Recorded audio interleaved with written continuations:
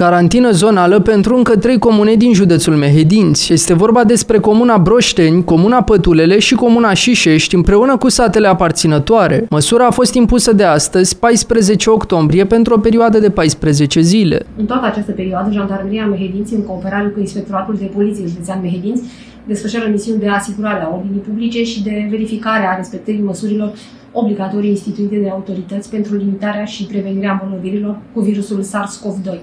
Pentru aceasta au fost mobilizate efective de jandarmi care, alături de polițiști, au misiunea de a realiza filtre la intrarea și ieșirea din zona carantinată, de a constitui patrule auto și pedestre în vederea menținerii unui climat de ordine și siguranță publică. Este strict interzisă intrarea sau ieșirea din zona carantinată prin alte zone și căi de acces decât cele deschise circulației publice de pe drumurile naționale, județene, comunale și forestiere. Se permite tranzitarea localităților carantinate de către persoanele care nu au domiciliul pe raza acestora, fiind interzisă oprirea.